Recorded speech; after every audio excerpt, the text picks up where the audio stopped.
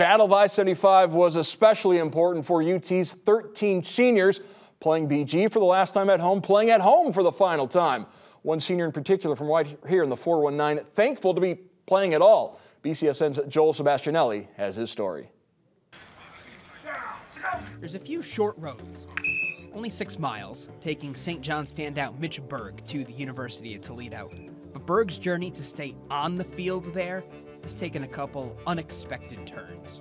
It's a dark road, you know what I mean? It's my, it was my senior year taken away, kind of, and I, I was I put in a lot of work with all these guys and everything like that, and it was just motivation to come back and play with them.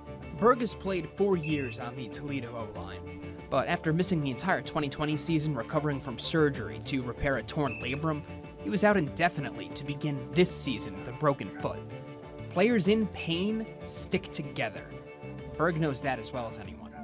Oh, it's, it's extremely tough because the world keeps spinning. You're in the group of guys who are also in the same boat as you, so that's that's also a big help. We, we call it the injured group.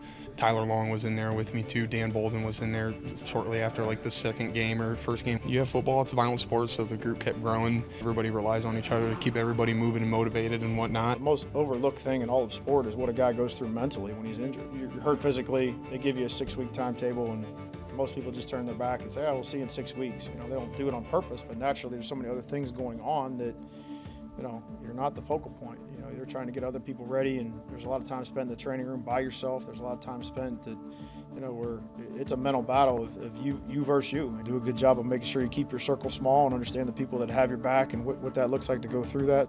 Berg pushed through rehab and weight training with strength and conditioning coaches Christian Clinic and Brad Bechet and he made it back on the field October 8th.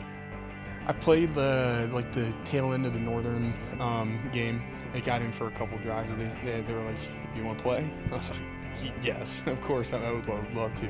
For him to go through that, still decide that he's going to come back and play, uh, and then come back and play at a high level like he's doing. You know, I think it, it shows the character of him as, as, a human being first and foremost, and, and really the love and care that he has for his teammates. Injury woes have served as a test for the whole offense, losing two starters on the line before game one, even playing without quarterback Dequan Finn at times. But they've passed. Nobody ever wants to go through that. I think you find out a lot about the character of that room adversity kind of strengthened them a little bit, you know, and brought them closer together, and that's what you'd like to see. It's been fun watching those guys gel, and you know, there's nothing, there's nothing more exciting than, you know, for anybody really in football than watching somebody impose their will on another person. That's why we all love this game. And they love the time they have left to play with each other. We're a tight knit group. We're all friends. Honestly, it's just like the cohesiveness of this group, especially with our O-line coach, Coach Hallett. When that happened, he just goes, "All right, get better. Next man up. Let's go. You know, we got practice tomorrow." you know, the guys that like stepped up, they stepped up really well, and hats off to them because that's on them too. And it just speaks volumes to our room, our coaches, and like the culture we have here. With the Rockets, Joel Sebastianelli, BCSN.